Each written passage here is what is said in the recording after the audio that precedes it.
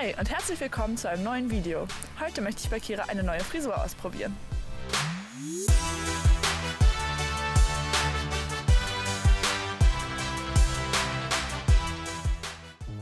Dieses Mal habe ich mich für eine Frisur entschieden, die wir den Blumenschnitt nennen.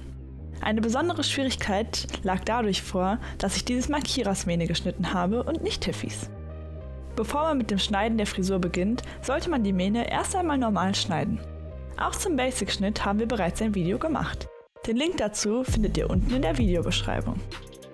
Beginnen sollte man mit dem weißen Teil auf der Seite, die einem besser liegt. Dann sollte man sich überlegen, wie breit jeder Bogen sein sollte. Ich habe mich für vier Finger entschieden. Die erste Seite ist dann recht simpel. Man hält immer wieder seine Finger an die Mähne, merkt sich, wo der Bogen beginnen und enden sollte und versucht dann, den Bogen möglichst gleichmäßig zu schneiden.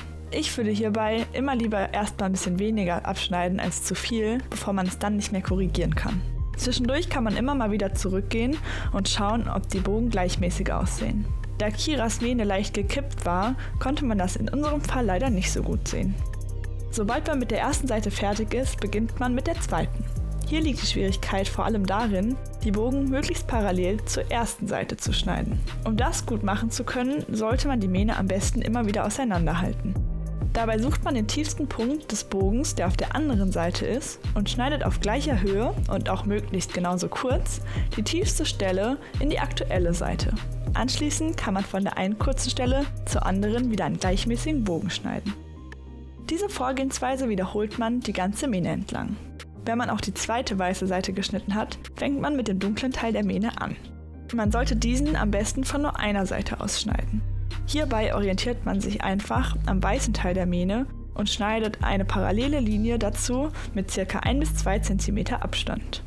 Zwischendurch sollte man aber trotzdem immer wieder auf die andere Seite gehen und Stellen, die nicht ideal aussehen, korrigieren. Am besten korrigiert man dabei am weißen Teil der Mähne. Leichte Korrekturen am dunklen Teil sind aber auf jeden Fall auch möglich. Wenn sich das Ansetzen der Schere etwas schwierig gestaltet, weil der vorherige Bogen im Weg ist, würde ich empfehlen, den zu schneidenden Teil zwischen zwei Fingern zu nehmen und ihn ein wenig herauszulösen. Wenn man erst dann mit der Schere ansetzt, wird es direkt viel einfacher.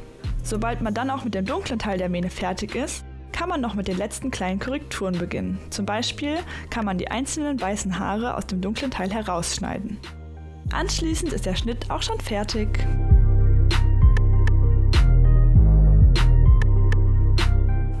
War's, die Frisur ist fertig. Ich finde, ich habe es ganz gut gemeistert, auch mal von einem anderen Pferd die Frisur zu schneiden. Und ich freue mich natürlich, wenn ihr dem Video einen Daumen nach oben da lasst und auch fleißig Kommentare.